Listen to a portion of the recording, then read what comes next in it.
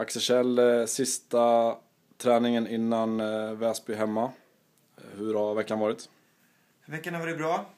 Vi tog eh, söndagen, eh, delar av måndagen till att slicka såren från Frej borta och sen så har vi haft eh, full fokus på Väsby imorgon. Så träningsveckan har sett eh, bra ut tycker jag. Hur analyserar du insatsen mot eh, IK Frej?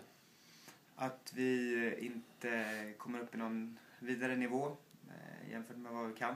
Att vi mötte ett lag som för dagen var bättre än oss och vann eh, fullt rättvist. Eh, framförallt så hade vi eh, stora problem i andra halvlek med dels att skapa målchanser men även hade vi eh, rätt så stora problem i vårt pressspel eh, som gjorde att Frej kunde vinna matchen eh, rättvist.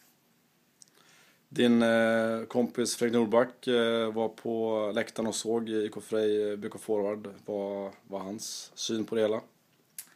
Hans syn var att han tyckte att eh, tränaren skulle styra upp det hela betydligt bättre än vad han gjorde, såklart.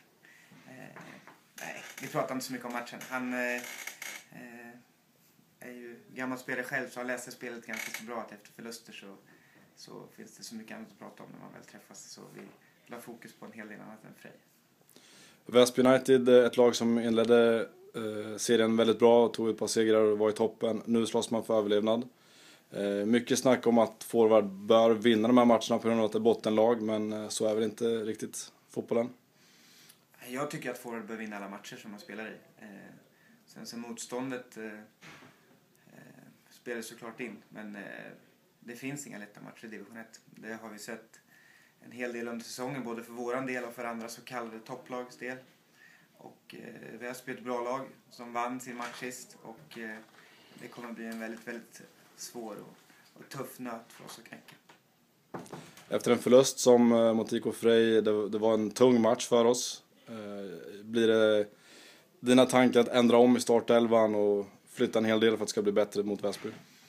Nej, tanken är väl först och främst vad, vad vi rent taktiskt och eh, kvalitetsmässigt kan göra bättre för att ha större chanser att vinna matchen mot, mot Väsby. Sen om det innefattar spelarprestationer eller vad man har för spelartyp mot ett visst typ av motstånd. Eh, det är det inför varje match, vare sig vi, vi vinner eller vad vi förlorar. Eh, så mitt jobb tillsammans med Johan är att sätta de elva på planen från start som vi tror har störst chans att hjälpa Ford att vinna matchen.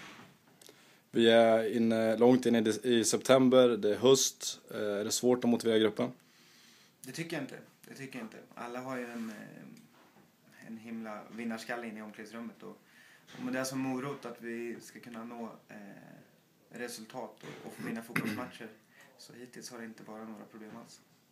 I truppen så har du två landslagsspelare, båda är målvakter, Oskar Claesson och eh, Jakob Rinne. De har debuterat nu under hösten. Eh, Har du märkt någon skillnad på dem i omklädningsrummet eller på träningar?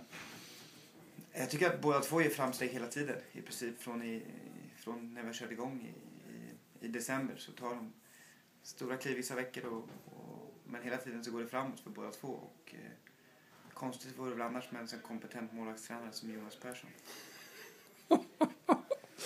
Ja, bra Axel. Något övrigt att tillägga? Eh, nej, hoppas att så många som möjligt tar sig ner till, eh, till trängen imorgon och hjälper oss att ta tre poäng från Väsby. När börjar matchen? Är det tre? Ja, 15-0. 15 Och matchsponsor är? Länsförsäkringar. Bra, tack. Tack det.